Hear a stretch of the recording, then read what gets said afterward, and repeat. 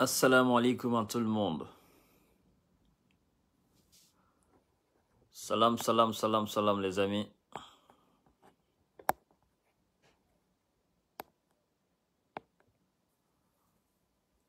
Salam à tout le monde. Bienvenue sur la page Jeune Visionnaire. Bienvenue sur votre page préférée, mesdames et messieurs.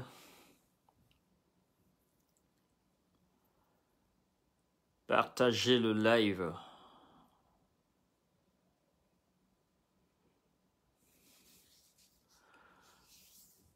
Bonsoir, bonsoir, bonsoir. Mamadou Diallo, bonsoir. À Lucine Camara, j'espère que vous allez bien. Salimatou Diallo, bonsoir à vous tous. Partagez le live. Balde Misra, Balaya Lilouma. Bonsoir à vous tous les amis. Comme vous le savez et comme toujours, comme d'habitude, comme coutume,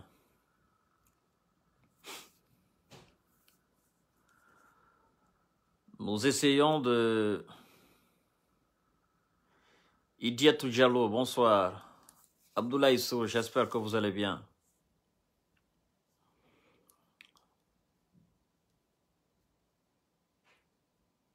Partagez le live les amis.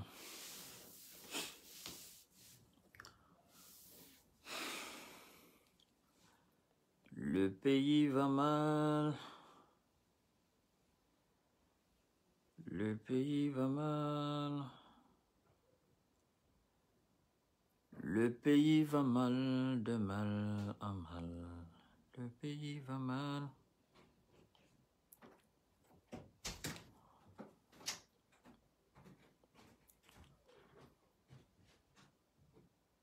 Avant, on ne parlait pas de chrétiens ni de musulmans, mais aujourd'hui, tout est gâché.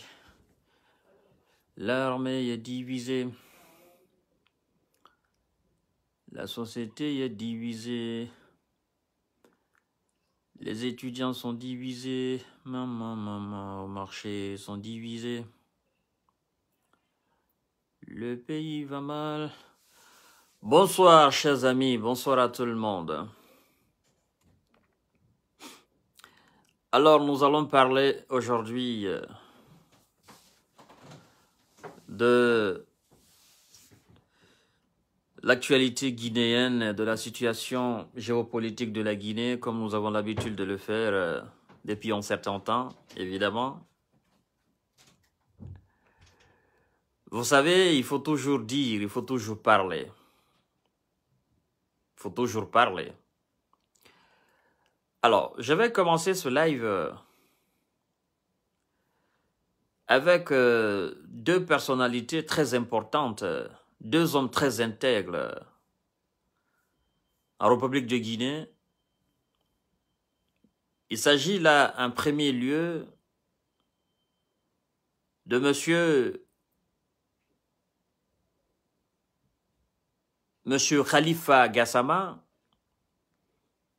l'ex-ministre d'Alpha Condé, qui a démissionné pour des raisons précises, et de maître Mohamed Traoré, deux personnalités très très importantes pour notre pays. Alors,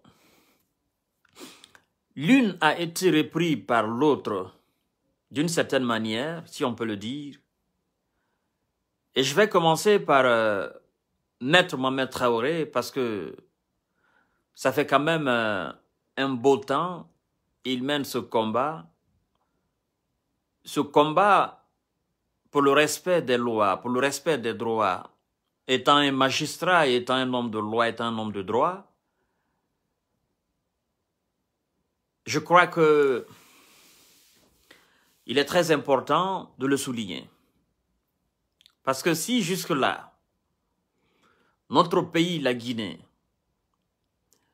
a du mal à relever la tête, notre pays, la Guinée, notre nation, notre pays, la Guinée, a du, mal à voir le chemin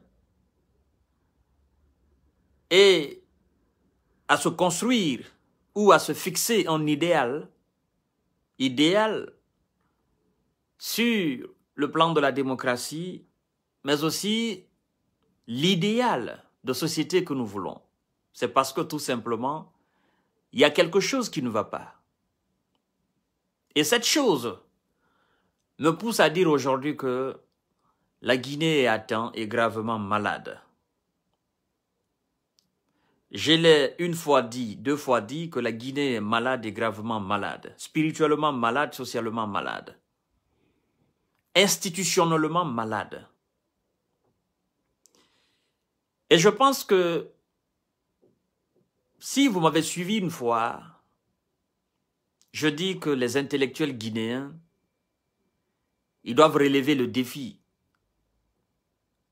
Parce que vous devez savoir que c'est pas ceux qui vont, c'est pas tous ceux qui vont à l'école qui sortent euh, avec des diplômes euh, très grands qui sont effectivement des intellectuels. Il y a des intellectuels qui n'ont jamais mis pied à l'école. L'école française, l'école anglaise, l'école chinoise. Mais qui ont été qui ont reçu l'instruction et l'éducation à travers la vie elle-même. Et par expérience, sont plus que certains qui sont sortis des universités de renommée internationale. Il faut le souligner.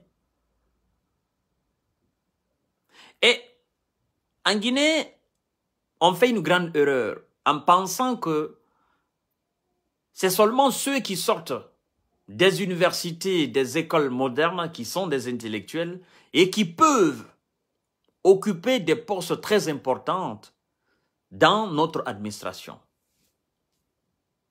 C'est pourquoi nous avons du mal à sortir la tête. Nous avons du mal à avancer. Alors, je crois que c'est tout ce que M. Gassama, M.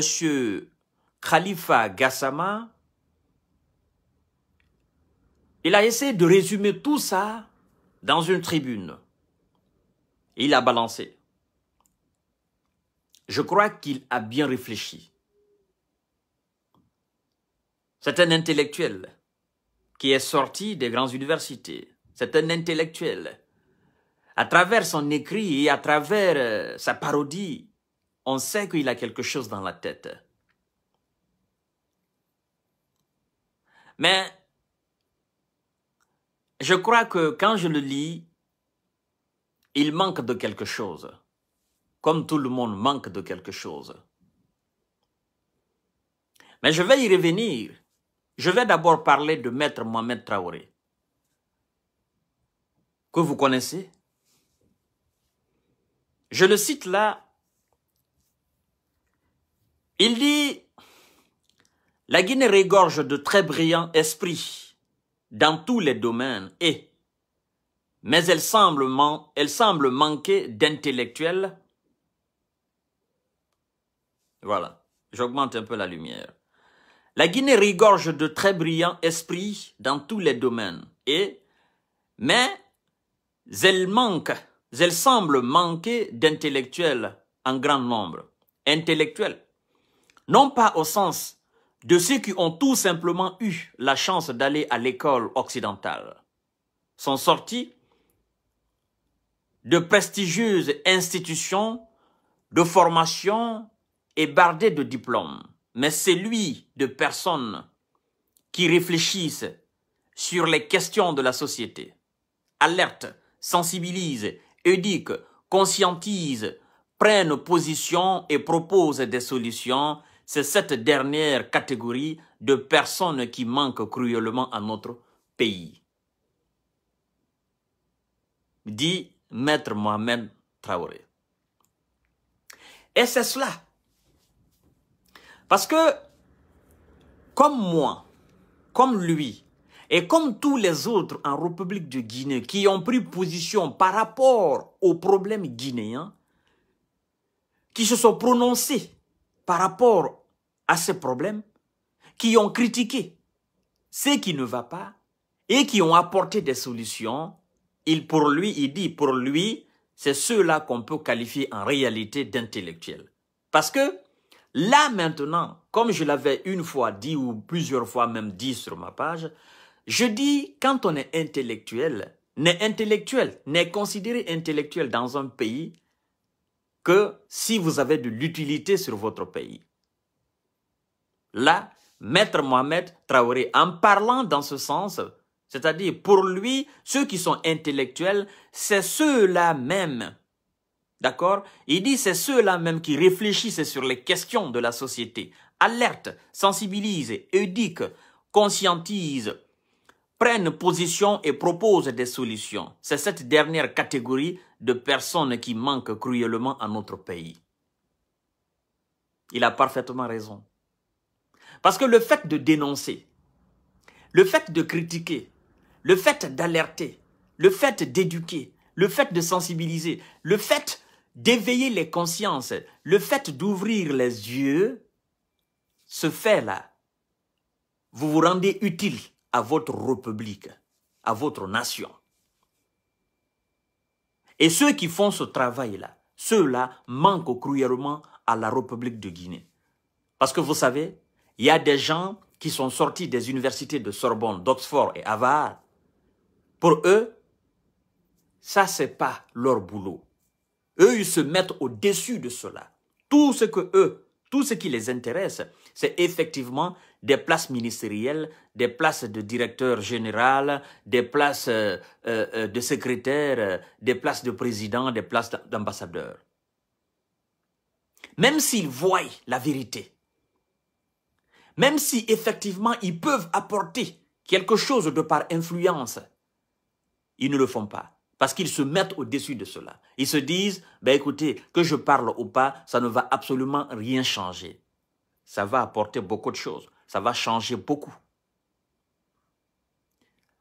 C'est ce que Maître Traoré dit. Il dit c'est cette catégorie de personnes, des catégories de personnes comme lui, Maître Traoré, qui dit ce qui ne va pas et qui apporte des solutions. Comme M. Khalifa Gassama, qui pense et qui dit ce qu'il pense, qui critique, qui démissionne quand ça ne va pas. D'accord? Qui dit ce qu'il faut faire, qui apporte des solutions, qui éduque. Ce sont ces, ce type de personnes qui manquent à notre République, comme nous autres. D'accord? Qui critiquent, qui apportent des solutions, qui réveillent effectivement des gens qui dorment, qui éveillent les consciences, qui éduquent, qui sensibilisent, qui alertent. Ces intellectuels de haut niveau. Maintenant, Maître Mohamed va très loin, c'est pourquoi j'ai apprécié sa sortie là. Écoutez bien. Il dit, dans la communauté de ce qu'on appelle à tort ou à raison des intellectuels, il y en a qui préfèrent ne pas contrarier ou à contester, à défaut de chercher à plaire à tout prix. D'autres choisissent toujours de scruter la direction du vent pour, se positionner conséquemment. Ça, c'est en République de Guinée. Il y en a tellement de personnes de type pareil là. C'est-à-dire, eux, ils ne veulent pas d'échec. Ils ont peur des critiques. Ils ont peur de faire des sorties. Ils ne veulent pas qu'on les attaque. Qu'est-ce qu'ils font? Ils restent cool. C'est des intellectuels aussi. Ils restent cool. Ils ne disent absolument rien. Ils veulent voir effectivement la direction du vent. La direction du vent, c'est-à-dire euh, la partie qui va remporter, la partie victorieuse, pour s'allier derrière cette partie-là. Moi, je qualifie ces intellectuels pareils comme des lâches. Effectivement, comme des gens qui n'aiment pas la Guinée. Parce que si tu attends de voir qui sera victorieux dans cette bataille politique, qui va remporter pour effectivement accepter ou t'allier derrière cette personne, ça voudra dire tout simplement que effectivement vous êtes euh, vous êtes un microbe, vous êtes nuisible à la société. Vous êtes une personne indécise. Vous n'avez aucune importance dans notre société. Pendant que les autres se positionnent. Effectivement, prendre position, c'est pas parce que euh, je suis militant, c'est pas forcément qu'il faut être militant d'un parti politique pour être, être appelé quelqu'un qui a pris position. Non, moi aujourd'hui, on connaît ma position. Oui, on connaît ma position. Ma position, elle est impartiale. Ça, c'est une position. Il y en a qui sont militants des partis politiques. Ça, c'est leur position. Je respecte. Il y en a qui sont aussi, euh, effectivement, euh, dans la société comme ça, là, qui n'ont absolument rien à foutre. Ces gens, ce sont des simples consommateurs. Les autres travaillent et ils profitent du fruit du travail des autres. Ce sont des parasites. La Guinée est malade. La Guinée est gravement malade. Il dit, Maître Traoré va plus loin pour dire, il dit, leur opinion, il dit, bon, écoutez, écoutez, choisissent toujours de scruter la direction du vent pour se positionner conséquemment. D'autres enfants optent pour le silence, pour ne pas voir lyncher par ceux, pour ne pas se voir lyncher par ceux euh, pour leur, pour leur opinion, pour être dérangés. Pour ceci, le silence est une sorte de bouclier, de rempart contre le, voilà, le courroux de ceux qui ne partagent pas leur opinion ou position sur certaines questions. C'est ce que je, je viens de dire tout à l'heure. C'est une réalité. Et si vous vous souvenez très bien, j'ai fait un live en disant, aujourd'hui en Guinée, il y a des gens qui ont peur de parler. Il y a des gens qui ont peur d'apporter des solutions. Il y a des gens qui ont peur de critiquer. Parce que quand ces gens-là critiquent, on va les taguer d'ethno. On va les taguer d'ethno et de divisionnistes. Je dis, or, dans les conditions normales, tout le monde a le droit de parler, tout le monde a cette liberté d'expression, de critiquer quand il faut, d'apporter des solutions quand il faut. Je dis, mais, et je suis même allé cibler la communauté Peul en disant, ces gens-là, aujourd'hui, n'importe qui d'entre eux fait des sorties en critiquant, en c'est-à-dire en critiquant, même si la personne n'apporte pas des solutions, mais en critiquant ce qui est flagrant, ce qui est réel, ce qui est critiquable, on va le traiter d'ethno. Et on se dira toujours, c'est les mêmes personnes qui sont en train de critiquer. Je suis allé même affirmer cela, et c'est une réalité. N'ayez pas peur. Vous êtes des Guinéens comme M. Kanté. Vous êtes des Guinéens comme Tierno Monenembo. Vous êtes des Guinéens comme M. Khalifa Gassama. Vous êtes des Guinéens comme Maître Beavogi. Vous êtes des Guinéens comme Maître Traoré. Vous êtes des Guinéens comme tant d'autres qui critiquent et qui apportent des solutions. Mettez derrière vous ceux qui vont vous insulter, ceux qui vont vous, vous envoyer des audios, ceux qui vont vous traiter de tout. Si vous voulez effectivement aider notre République, moi, je sais combien de fois je subis des injures. Je sais combien de fois je suis insulté père et mère en longueur de journée. Je sais combien de fois on me traite de bâtard. Je sais combien de fois on me traite d'esclave, des peuls. Mais je m'en fous. Je continue mon chemin. Parce que, vous savez, on dit, Lansana disait que pour être grand, il dit pour être quelqu'un, il faut faire quelque chose. C'est très important pour que ces gens-là se permettent de m'insulter père et mère, de me traiter d'indigne, de me traiter de bâtard, de me traiter de toutes les étiquettes, il a fallu que je fasse quelque chose. Et cette chose-là, c'est de critiquer et apporter des solutions à notre nation. Mais des critiques, des critiques objectives que je faisais contre ceux que eux ils supportaient, ça ne leur plaisait pas. Parce que eux, ils voudraient que voilà, Monsieur Kanté, vous êtes Kanté, vous, vous êtes Maléké. Forcé, vous devez accepter Monsieur Alpha Condé et son système, même s'ils sont dans les erreurs. Chose que j'ai refusée. Et ils, continuent de s'attaquer à moi. Voyez-vous? Alors, il y a une catégorie de Guinéens qui ont peur aujourd'hui de faire cela. Il y en a qui disent, il y en a qui m'envoient même des sujets souvent en disant, Monsieur Kanté, moi je suis issu d'une très grande famille, je ne veux pas m'afficher. Mais est-ce que vous connaissez la famille de M. Kanté? Moi, je viens d'une famille, les enfants et les petits-enfants, tous réunis, ça peut créer un village. Ceux qui me connaissent vont corroborer mes propos. ma famille. Ma famille est tellement grande que je ne connais pas tous les éléments. Je vous dis bien, je viens d'une famille très large.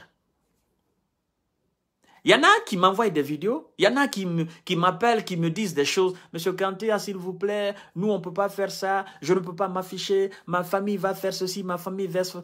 Écoutez, c'est des pères de famille, c'est des adultes, c'est des majeurs qui m'appellent pour me dire cela. Je me dis, mais en tant que vous ne vous décollez pas de ce lien familial fraternel et vous assumez, vous ne serez jamais homme. Et on ne se souviendra jamais de vous. Pour qu'on se souvienne de vous, laissez votre famille mener un combat. Vous êtes des hommes majeurs et des femmes majeures. Assumez vos propos, assumez vos positions. Vous pensez que moi, ma famille ne m'a pas menacé au début? Bien évidemment. Il n'y a pas ce que ma famille ne m'a pas reproché. Il n'y a pas ce que mes cousins, mes frères, mes tantes n'ont pas dit de moi. Mais j'assume ma position. J'assume ce que je suis en train de faire. Et par fini, il y en a qui ont compris. Ils m'ont laissé. Et ceux qui étaient avec le RPG Arc-en-Ciel, ou ceux qui sont encore avec le RPG Arc-en-Ciel, continuent de me combattre. Mais moi, je considère ce combat un combat politique. Ça, c'est pas un combat familial. Je suis comme vous, un enfant d'Afrique, issu d'une très grande famille, une famille princière d'ailleurs. Vous comprenez? Donc, n'ayez pas peur. La Guinée, c'est votre famille. Si vous voulez prendre position, que vous voulez vous afficher et que votre papa veut vous empêcher, dites à votre papa, écoutez papa, je vous respecte, vous êtes mon géniteur.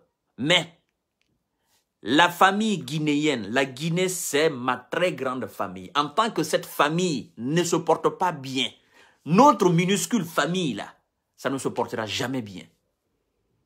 Parce que réfléchissez, papa. Vous avez combien d'enfants? Parmi vos enfants, il y a combien qui travaillent? Parmi vos enfants, il y a combien qui arrivent à, subvenir leurs besoins? Vous voyez des pères en Guinée qui ont 10 enfants, qui ont 15 enfants. Et c'est lui qui travaille, qui nourrit ses enfants. Des enfants de 25 ans, des enfants de 30 ans. disons même, moi je traite même pas, bon, disons des adultes de, de 30 ans, des enfants, des adultes de 25 ans, effectivement, parce que pour moi ça c'est pas des enfants ça. Il y en a qui continuent toujours de bouffer la, c'est-à-dire la ration des enfants de 2 ans, 3 ans au sein de la famille. D'accord? Et ce sont les mêmes qui disent, je ne veux pas m'afficher parce que ma famille va dire ceci là. Tu, appartiens à une très grande famille qui est la Guinée. En tant que cette famille ne se porte pas bien, en tant que cette famille est malade, billahi, vous allez toujours être malade et vous serez toujours dépendant de la seule et unique personne qui travaille au sein de votre famille. Assumez vos positions. Vous êtes des hommes majeurs, vous êtes des femmes majeures. N'ayez pas peur de la répression des membres de votre famille. N'ayez pas peur de cela. Alors, Monsieur Maître Mohamed Traoré va loin nous dire, il dit, ceux qui osent s'exprimer, malgré tous les risques, notamment les attaques personnelles dans les médias et sur les réseaux sociaux, ne sont pas nombreux. Évidemment, ils ne sont pas nombreux. Parce qu'il faut être audacieux. Oui, ce que je suis en train de faire là, c'est être audacieux. Je prends le risque, je critique le système en place. Vous savez, il y avait une liste au temps d'Alpha Condé, en République de Guinée. Il y avait une liste des personnes à arrêter. J'étais à la tête de cette liste, bien évidemment. Surtout de ceux qui sont sur la toile. On attendait que je, je mette seulement pied à l'aéroport pour qu'on m'arrête.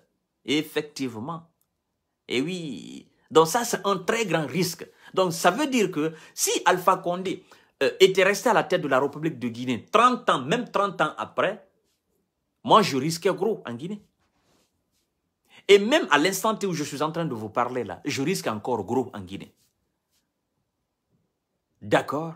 Parce qu'il y a des individus qui sont prêts à s'attaquer à M. Kanté sur le territoire guinéen. Mais ça, on va composer avec. D'accord? On va composer avec. Le système et sa tête, ils sont tombés. Quand je serai prêt, j'irai chez moi. Et ceux qui veulent s'attaquer à M. Kanté, des individus comme moi, on verra sur le territoire guinéen. Donc, ça, c'est des risques que ceux qui assument leur position, voyez-vous, si on n'est pas homme, si vous ne faites pas quelque chose, vous ne serez jamais quelqu'un. On se souviendra jamais de vous. Et vous allez mourir comme un poussé, on va vous enterrer. C'est tout. Donc, sortez de vos gonds. Assumez vos positions. Faites quelque chose pour que vous soyez des hommes et des femmes. C'est très important. La nation, un pays ne se construit pas dans la peur. Colonel Mamadi Doumbouya, quoi qu'on dise aujourd'hui de lui, il a fait ce qu'aucun militaire, depuis la création de la Guinée jusqu'à aujourd'hui, ce qu'aucun militaire n'a fait. Évidemment, il y en a qui ont tenté. Tenté d'éloger Lansana Conté. Ceux-là, leur nom est dans l'histoire, dans l'archive. D'accord? On va parler de, de, de, de, M. Joumanigui. On va parler euh, de ceux qui ont fait, euh, euh, ceux qui ont fait les, 3, les 2-3 février, si je me souviens bien, si j'ai bonne mémoire. D'accord? On va parler de Djara Traoré. Effectivement, c'est pas le Djara Traoré de, de 80, de 80, 84, 85. Parce que il y avait un Djara Traoré ici dans le coup de 93, si je me souviens bien. Effectivement, il y en avait un. On va, parler de tous ces hommes-là. On va parler de Toumba Diakité, parce qu'il a fait quelque chose. Il est rentré dans l'histoire. D'accord? On va parler de Dadis, Dadis Kamara. On va parler de Sekouba Konaté. Mais après avoir parlé de tous ces gens-là, la personne qui vient à la tête de tous, c'est-à-dire de cette liste de militaires qui ont osé, parmi ces audacieux-là, c'est le colonel Mamadi Doumbouya et, sa, et son unité qui viennent à la tête. Parce que ce sont eux qui ont pris leur courage à bras le corps, qui sont allés déloger un dictateur sur place, qui l'ont pris vivant, qui ne l'ont pas tué, et qui ont osé encore le laisser aller se soigner du jamais vu. Il a fait quelque chose pour qu'on parle de lui et pour qu'on se souvienne de lui jusqu'à la fin des temps. En tant que la Guinée vivra, on parlera toujours du colonel Mamadi Doumbouya et de son unité. Peu importe maintenant son avenir, mais ce qu'il a déjà fait est grandiose. Faites quelque chose pour être quelqu'un. La Guinée, c'est votre pays, c'est votre nation. N'ayez pas peur de parler, n'ayez pas peur de critiquer. Assumez vos responsabilités, c'est très important. On a besoin de tout le monde. Maître Traoré va plus loin nous citer. Il dit l'écrivain Tchernomone Nembo et l'ancien ministre Khalifa Gassama Djabi font partie de ces rares intellectuels qui prennent le risque de s'exprimer ouvertement sur les questions essentielles de la vie de la nation. Que leur position plaise ou déplaise, ils ne se soucient pas de savoir leur prise de position contrarie. Il ne se, effectivement, il dit, il ne se soucie pas, ok, de s'exprimer ouvertement sur les questions essentielles de la vie de la nation. Que leur position plaise ou déplaise, ils ne se soucient pas de savoir si leur prise de position contrarie, dérange ou crée des controverses ou polémiques. C'est ça. Effectivement, M. Tierno Monenembo, quoi qu'on dise de lui, moi-même j'ai eu à le critiquer par rapport euh, à l'une de ses sorties. Effectivement, j'ai eu à le critiquer. Sincèrement, oui, bien sûr. Mais est-ce que cela a empêché l'homme de continuer? Tout dernièrement, il vient de faire des sorties aussi. D'accord? Monsieur Gassama a fait, il s'est inscrit dans la même logique. Il ne se soucie pas de ce qu'on va, dire d'eux. Il se soucie pas. Comme Monsieur Kanté aussi ne se soucie pas de ceux qui l'insultent et de ceux qui le traitent de bâtard ou quoi que ce soit. C'est cela. C'est ce, ceux qui vous insultent là, vous pouvez faire des critiques objectives, mais ceux qui vous insultent là, ça vous permet de grandir, ça vous permet d'aller de l'avant. Mais vous savez, le poids de Tchernomone Nembo et le poids de M. Kanté, c'est pas même poids.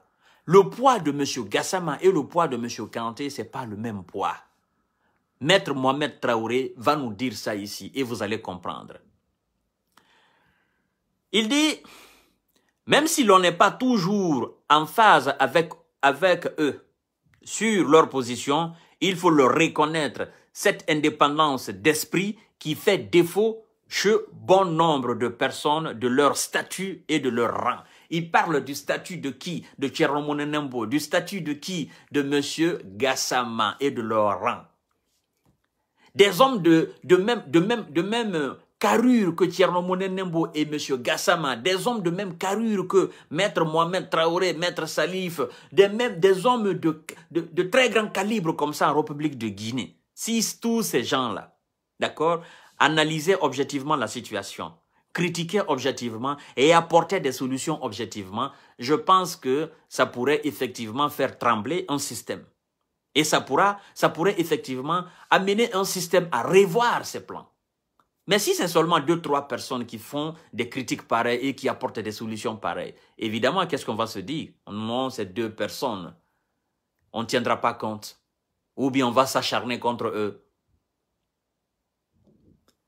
Ayez l'audace, ayez la grandeur d'assumer votre position et de défendre votre position. C'est très important. Il dit, Maître Mohamed va très loin pour dire, qualifier euh, Khalifa Gassama Djabi de frustrer à cause de sa tribune sur la résurgence des coups d'État militaires et la conduite de la transition en Guinée révèle tout simplement la pauvreté du débat sur les sujets pourtant fondamentaux. Il est l'un des quelques Guinéens qui ne sont, euh, qui ne sont mus que par la volonté de servir le pays. Il le fait avec détachement et désintéressement. Dans ce pays, l'on se connaît suffisamment pour savoir qui agit pour obtenir un poste de responsabilité et qui agit dans le cadre de la stricte défense des valeurs et principes. Je crois que euh, Maître Mohamed Traoré, il a tout dit. On le salue d'ailleurs de passage. Alors, je vais revenir euh, sur euh, maintenant sur Monsieur euh, Khalifa Gassama lui-même proprement, sa tribune. Vous savez, mesdames et messieurs, c'est pourquoi je vous dis la Guinée est malade, gravement malade, mentalement malade, spirituellement malade, socialement malade, administrativement malade. La Guinée est malade. Juridiquement malade, la Guinée est malade. Oui, la Guinée est malade.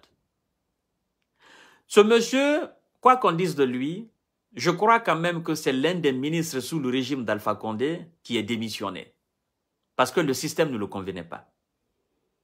Parce que, effectivement, il a voulu que l'égalité, que le droit et la loi fonctionnent comme elle doit fonctionner dans un pays normal. Il a voulu ce qu'on appelle une véritable démocratie. Il a voulu le dialogue.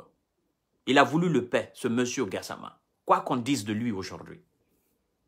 Je crois que si c'est quelqu'un qui se battait effectivement pour avoir des postes ministériels et tout ça, normalement, sur certains sujets, il devrait se taire sous le régime d'Alpha Condé.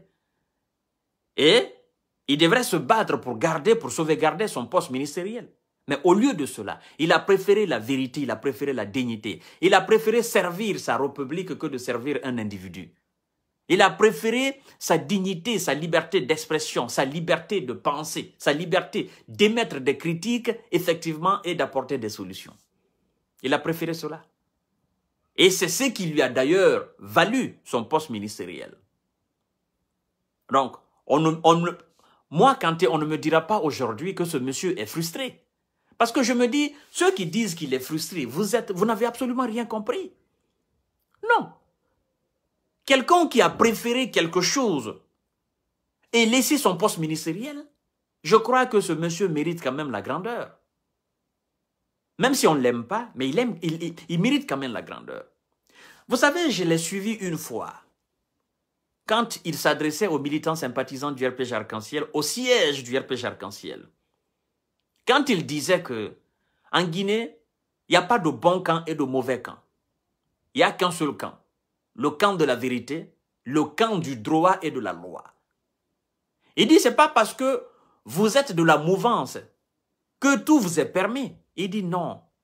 Il dit même ceux qui sont à la mouvance là, si vous commettez des choses inacceptables et inadmissibles dans les conditions normales, la loi doit vous arrêter, la loi, la loi doit vous condamner.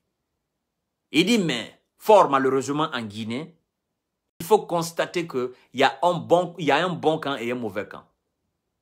Il dit, c'est ce qu'on doit combattre. Il a dit ça au siège du RPG Arc-en-Ciel. Et ce jour-là, quand j'ai écouté ce monsieur, je me dis non, ce monsieur-là va pas durer à son poste ministériel. Je dis non, après ce discours-là, après quelques mois ou bien après quelques jours-là, il sera démis de ses fonctions. Et pour finir, il dit, après ici, j'irai au siège de l'UFDG et j'irai dire la même chose là-bas. Il dit parce que là-bas aussi, quand il y a des hommes et des femmes qui sont dans des erreurs ou qui sont fautifs de quelque chose, c'est-à-dire qui sont, qui reprochés par rapport de quelque chose, on dit non, oh non, on est contre nous, nous sommes parce que nous sommes des peuples, parce que nous sommes ceci. Et il dit c'est pas ça. Nous devons appliquer la loi. Ce jour-là, j'ai gardé en mémoire cet homme. Je l'ai gardé dans l'annuaire. Je dis, ce monsieur-là, c'est quelqu'un qui mérite quelque chose en Guinée. Alors, si ce même monsieur qui a osé tenir des discours pareils sous le régime d'un dictateur sanguinaire sans pitié, aujourd'hui, il n'y a pas cette dictature en Guinée. Si ce même monsieur fait une réflexion ou des réflexions fondamentales par rapport à la gestion de nos États, et très particulièrement de la Guinée, ou par rapport même aux coups d'État, effectivement, qui sont en train euh, d'apparaître un peu partout dans l'Afrique occidentale, la Guinée, euh, euh, la Guinée, le Mali, le Burkina, je pense qu'on doit l'écouter. Et tout ce qu'il a dit, c'est la vérité. Même si on ne l'aime pas, même si on le déteste, c'est une vérité, c'est la vérité crue. Bien vrai que je supporte le colonel Mamadi Doumbouya, je veux qu'il réussisse.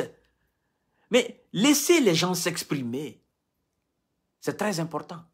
Alors, si tu n'es pas d'accord avec lui, il faut le critiquer objectivement, ne l'insulte pas, comme moi je l'ai fait.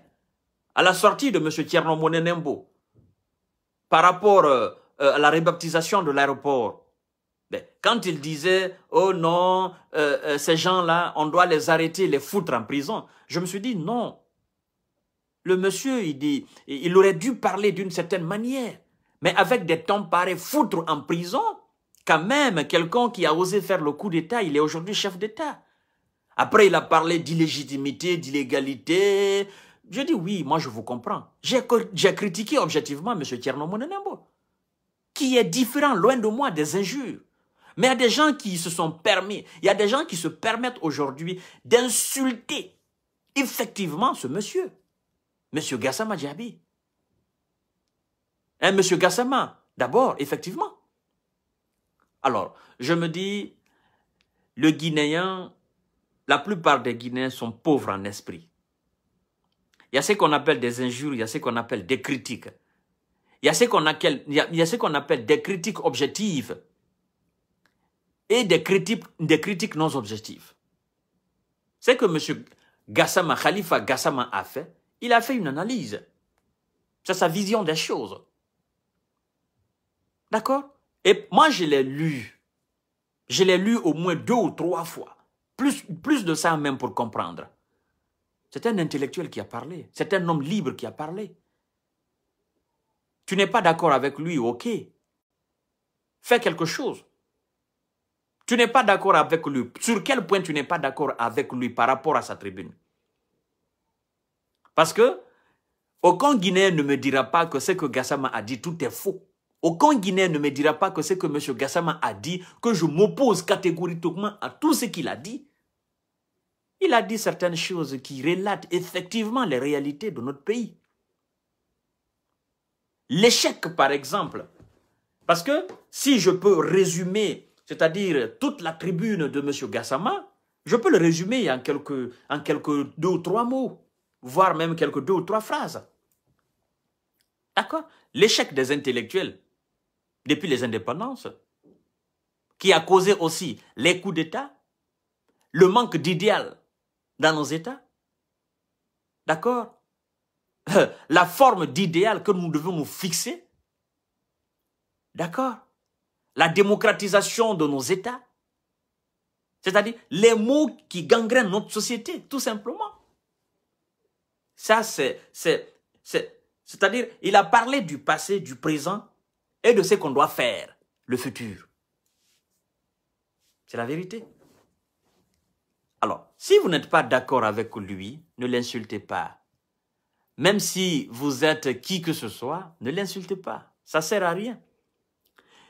Il dit, notre sous-région est menacée par une déstabilisation qui risque d'être chronique et dévastatrice pour nos États et nos peuples. ça, c'est pas, pas, pas un mensonge, c'est une vérité. Il dit, il faut savoir raison garder. Ne jouons pas avec le destin de nos peuples sur la base des chimières révolutionnaires et militaires. Les coups d'État ne sont jamais la victoire de la démocratie. Ils expriment toujours l'échec préoccupant de la dynamique et de la stabilité de l'émancipation démocratique de nos peuples et de nos États. L'échec, je vous ai dit tout à l'heure, les coups d'État militaires ne sont jamais effectivement. Ce qu'il a dit, c'est vrai. Mais pourquoi les coups d'État?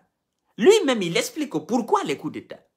Les coups d'État, parce que les civils qui se sont succédés à la tête de nos États, ils ont été incompétents, irresponsables. Ils ont été des têtes de mules. C'est pourquoi les militaires ont pris leurs responsabilités. Monsieur Gassama parle des militaires, mais aussi il parle des civils qui ont échoué à la tête de nos États. Des civils eux-mêmes qui se sont inscrits dans l'illégitimité et dans l'illégalité. C'est pas un mensonge. Ça, c'est une vérité. Parce qu'il va très loin pour dire des présidents civils qui se sont, qui se sont à un moment donné inscrits dans l'illégitimité, dans l'illégalité, notamment Alpha Condé, notamment Paul Biya, et des présidents civils qui ont été incompétents à la tête de leur État. Parce qu'il y en a qui sont dans la légalité, dans la légitimité, mais ils sont incompétents de répondre à l'aspiration de leur peuple respectif. Quoi de mal dans ça? Hmm?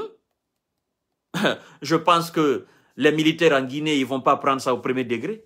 Ce qu'il a dit, c'est effectivement vrai. Et quand il parle de démocratie, le plus grand démocrate, c'est lui qu'on peut appeler le plus grand démocrate de la Guinée de tous les temps. L'homme qui a crié sur toutes les toiles qu'il faut de la démocratie. N'est-ce pas, c'est Alpha Condé? Nous avons vu quelle forme de démocratie Alpha Condé nous a amené en République de Guinée. C'est lui qui s'est battu au nom de la démocratie. C'est lui qui devrait démocratiser la Guinée. Il est venu, qu'est-ce qu'il a fait?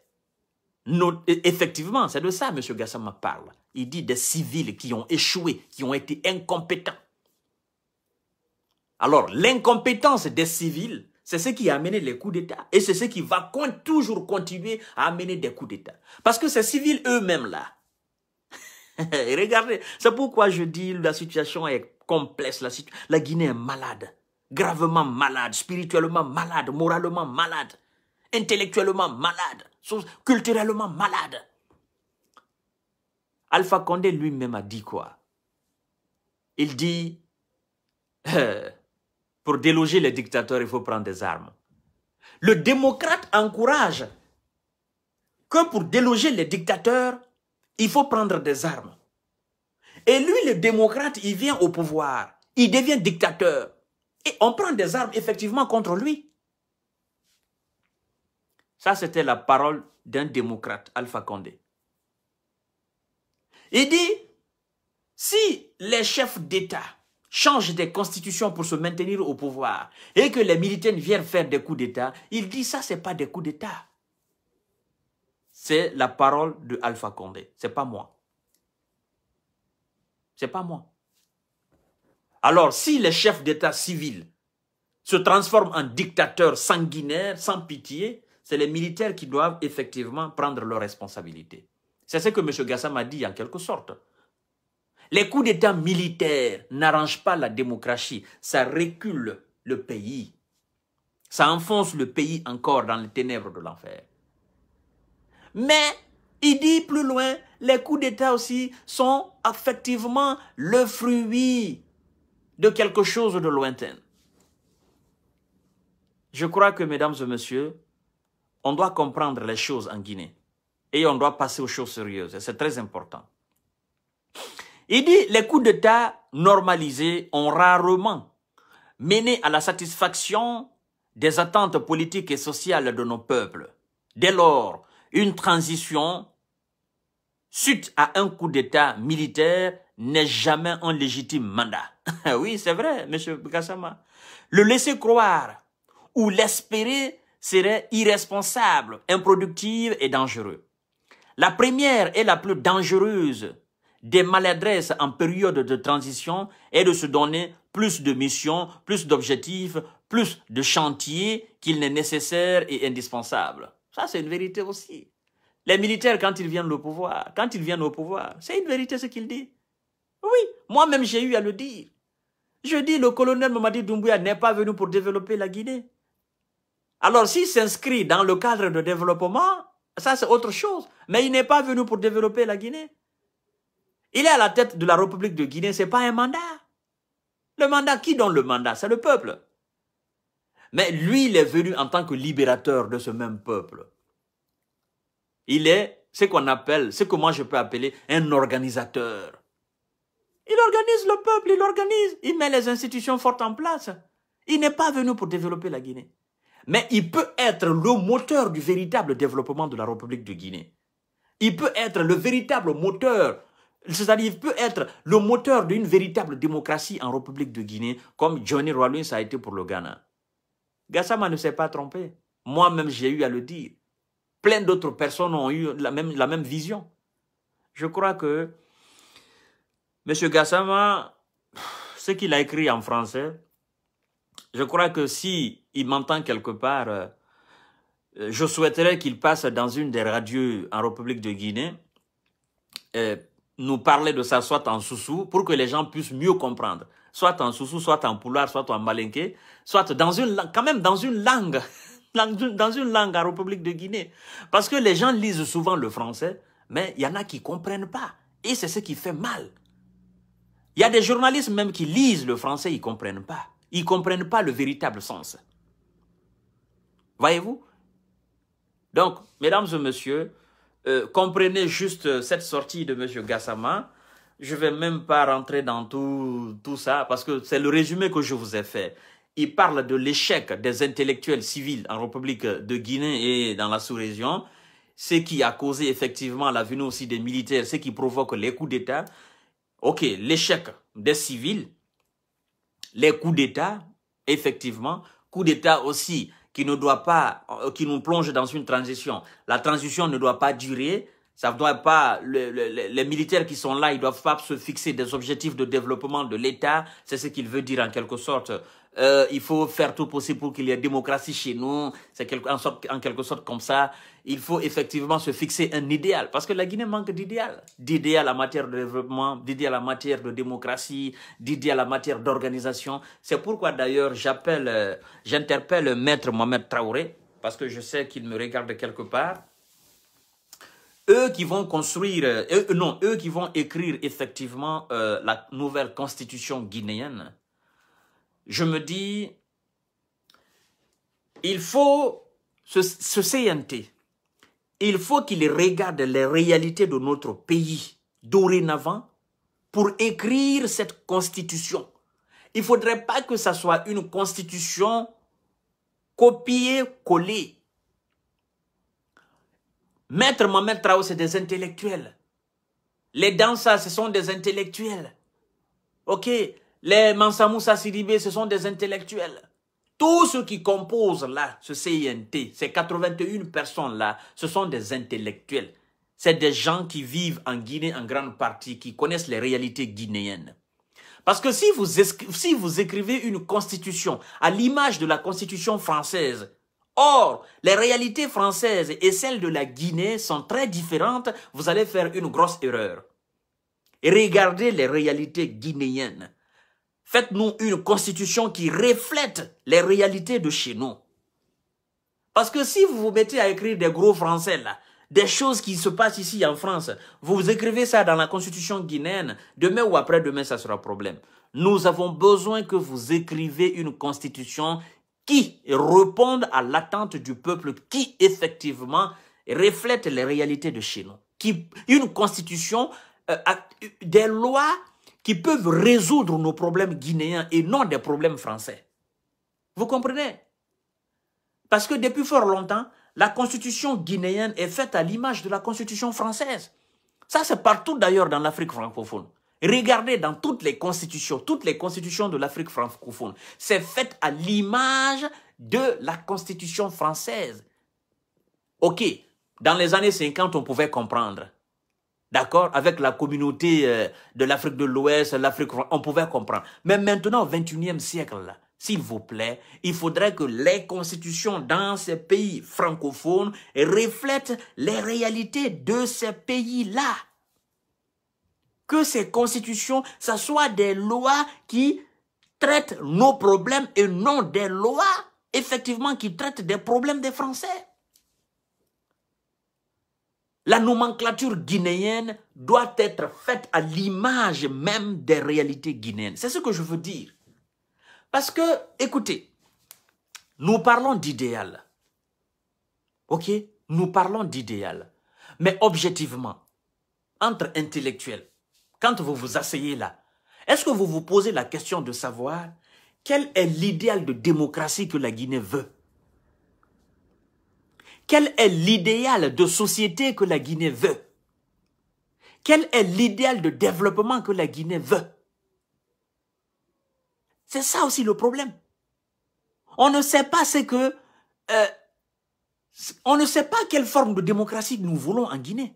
Est-ce que c'est une démocratie à la française? Une démocratie à l'américaine Une démocratie à la chinoise Une démocratie à la russe Ou bien faudrait-il qu'on se fasse une idée de notre propre démocratie chez nous? Ça, c'est très important de le souligner. Oui. Parce que la Guinée doit avoir sa démocratie à elle, qui est différente de la démocratie. Parce que vous savez, la démocratie ici, la notion de démocratie ici en France, elle est très différente de la notion de démocratie en Russie, en Chine, aux États-Unis, un peu partout. Parce que vous demandez les Chinois ou vous demandez les Russes, ils vont vous dire la Russie est un pays démocratique. Les États-Unis, oui, les États-Unis, effectivement, euh, a sa forme de démocratie. Mais nous, en Guinée, nous voulons quel type de démocratie? Nous voulons quelle forme de démocratie? Les intellectuels guinéens doivent réfléchir à ce sujet-là.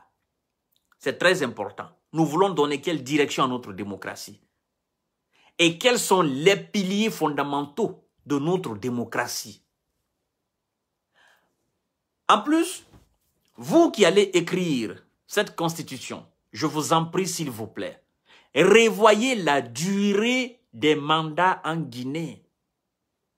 C'est pas parce qu'en France, il y a cinq ans que forcément en Guinée, il doit avoir cinq ans. Oui.